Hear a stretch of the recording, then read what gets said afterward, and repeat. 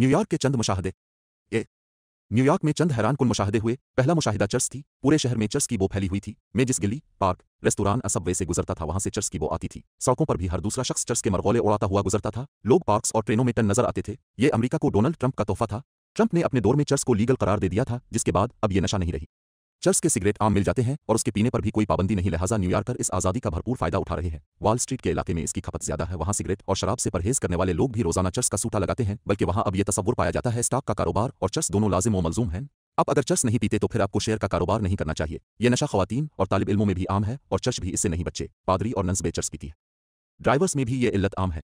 अब अगर किसी टैक्सी या उबर में बैठे तो आपको वहाँ भी चर्च की बोएगी पब्लिक टॉयलेट्स और एयरपोर्ट्स भी इससे महफूज नहीं है। न्यूयॉर्क में ये वो फिजा तक में महसूस होने लगती है। अमेरिका एक कंजर्वेटिव मुल्क है। आपको फहाशी और उरियानी के जो मनाजिर यूरोप में दिखाई देते हैं, अमेरिका न सिर्फ़ इससे पाक है, बल्कि अगर नौजवान जज्बात में बहकर किसी अवामी मकाम पर एक दूसरे से लिपटने की गलती कर बैठे तो लोग माइंड कर जाते हैं और उन्हें डांट कर कहते हैं, गो टू होम।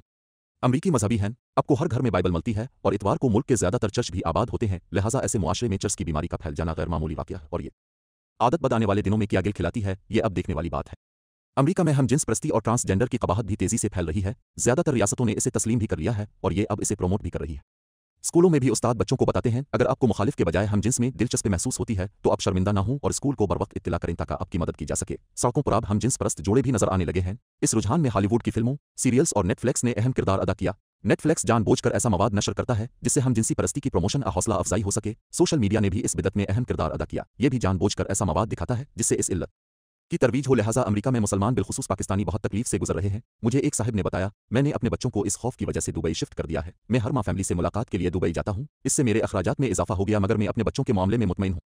न्यूयॉर्क में तीसरा हैरान कुल मुशाहिदा, होमलेस, लोगों की तादाद में इजाफा था। मुझे कोई ऐसी इमारत अगली नहीं मिली, जहाँ कोई ना कोई होमलेस नशे न पड़ा हो। ये लोग गंदे कपड़ों और गलीज जिसम के साथ फुटपाथ बड़ी इमारतों की इंट्रेंस पर पड़े रहते हैं। सारा दिन भीख मांगते हैं और शाम को इस रकम से शराब और चर्च खरीद लेते हैं। उन्हें खाना दूसरे लोग दे देते हैं, या कोई ना कोई एनजीओ पहुँचा देती है। ये डस्टबैनों से भी खुराक निकाल कर खाते हैं। मैंने थोड़ी सी तहकीक की तो पता चला उनमें से ज़्यादातर लोग फौज से रिटायर हैं। अमरीका चालीस बरस से मुख्तलिफ़ जंगों में मसरूफ है लिहाजा इसने बेतहाशा लोग भर्ती किए। ये लोग इराक, अफ़गानिस्तान और शाम में लड़ते रहे, जंगे इख्ताम पजीर हुई तो ये बेरोजगार हो गए। ये कॉन्ट्रैक्ट मुलाजिम थे। रिटायरमेंट या मुआहदे के बाद उन्हें साढ़े चार सौ डॉलर पेंशन मिलती है और इसमें उनका गुजारा नहीं हो सकता। दूसरा, जंग की होलनाकी की वजह से उनके जहन बुरी तरह मुतासर हो चुके होते हैं। ये वापस आकर अपनी गर्लफ्रेंड बीवी या घर वालों से लड़ना शुरू कर देते हैं और निजता सड़क पर आ जाते हैं। उनके रवैये में भी तशद का अंसर आ चुका होता है, लिहाजा ये किसी इदारे या कंपनी में टुक नहीं पाते और ये सारा सफ़र बिलाखिर सड़क और फुटपाथ पर कर इख्ताम पजीर होता है। आप उग्राब न्यूयॉर्क जाएँ तो आपको जगह जगह होमलेस साबित फौजी नज़र आएँगे। इनमें से कुछ ने गिले में मेडल्स भी लटका रखे होते हैं और बाज अपने काट कबाड़ के साथ अपनी फौज के जमाने की तस्वीरें भी रखकर बैठे होते हैं। मुझे एक दो होमलेस लोग फौजी यूनिफॉर्म में भी दिखाई दिए। अमेरिका को एक तरफ़ उन होमलेस की वजह से बेइज्जती का सामना भी है और दूसरा बड़ा इशू साबित फौजियों की जहनी हालत है। ये लोग महाज से नफसियाती मरीज़ बनकर वापस आते हैं और अमरीका में शिद्दत पसंदी, कत्ल गारतगिरी और दहशतगर्दी का बाइस बनते हैं।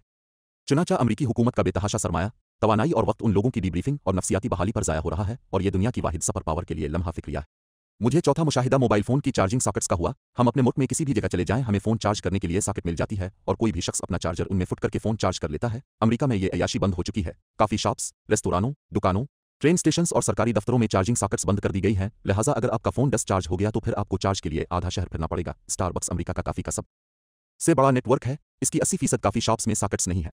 रेस्तुरान और दुकानें भी सिर्फ़ अपने ग्राहकों को यह सहूलत देती हैं। मुझे टाइम स्क्वायर में फ़ोन चार्ज करने के लिए जूता खरीदना पड़ गया क्योंकि स्टारबक्स में सॉकेट्स नहीं थी। रेस्तुरानों से जवाब हो गया था और आखिर में जूतों की एक दुकान बच्ची थी। मैंने इसकी सील्स मैनेजर से दरखास्त की तो इसका जवाब था, हम ये सहूलत सिर्फ़ अपने ग्राहकों को देते हैं, लिहाजा मैं उनका ग्राहक बनने पर मजबूर हो गया, जिसके बाद भी मुझे सिर्फ़ पाँच मिनट मिले। मैंने इस बदतमीजी और कंजूसी की वजह दरियाफ्त की तो पता चला बिजली की कीमतों में बेतहाशा इजाफा हो चुका है। काफ़ी शॉप्स और अवामी मकाम पर लोग सारा सारा दिन फ़ोन चार्ज करते रहते थे। इससे बिजली के बिलों में इजाफा हो रहा था, लिहाजा ज़्यादातर ब्रांड्स ने अपने आउटलेट से सॉकेट्स बंद करा दे। गवर्नमेंट ने भी अवामी मकाम से यह सहूलत वापस ले ली। इससे बिजली की खपत में भी कमी आ गई और कारपोरेशन और ब्रांड्स के बिल भी कम हो गए।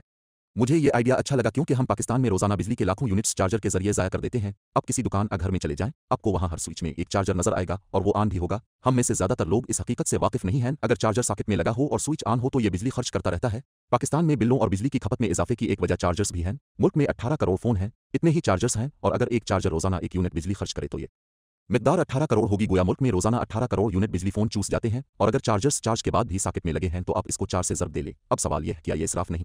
और क्या हम अमरीका से सीख कर इस इसराफ से बच नहीं सकते?